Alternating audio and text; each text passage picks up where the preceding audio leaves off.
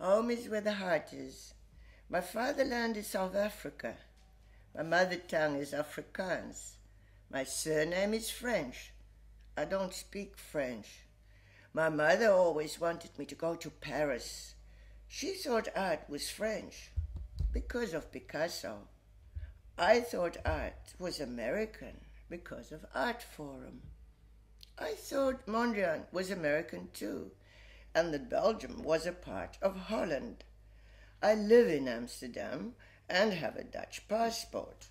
Sometimes I think I'm not a real artist because I'm too half hearted and I never quite know where I am.